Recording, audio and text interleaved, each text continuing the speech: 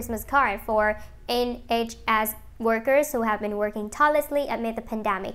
The Cambridge family's Christmas photo was taken last autumn outside their home at Anmer Hall. Some say that making is difficult because they also want to do what's best for the public. Meanwhile, Min Middleton also made headline this week after this was revealed that she won't be styled as queen when Prince William ascends the throne, and rather the Duchess of Cambridge will be known as Queen Consort. According to the Express, the title of Queen Consort usually belongs to wives of kings, and since Middleton isn't a member of the royal family by blood, she cannot be styled as queen when Prince William becomes king. The same rule will be followed when Prince George ascends the throne. His wife, as such, a palace insider told New Zealand Women's Weekly in its December 21st issue that Middleton deserves a break. It would do Kate good to have a quiet day with her immediate family. She really worked hard this time, not always seen by the public, and deserves some downtime, the source said.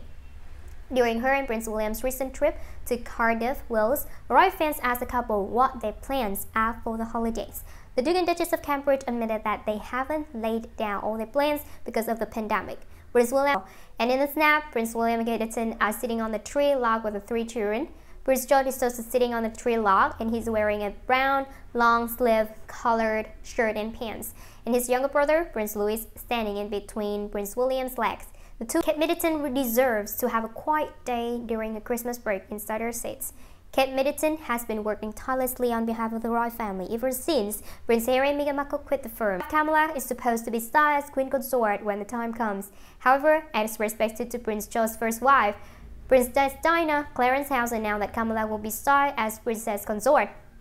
In real news, Middleton and Prince William just released their adorable two-year-old is wearing a navy blue sweatshirt and pants.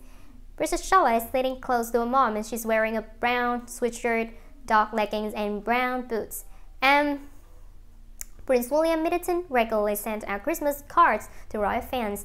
The royal couple also sends out cards to commemorate the special occasions such as children's baptisms, and birthdays.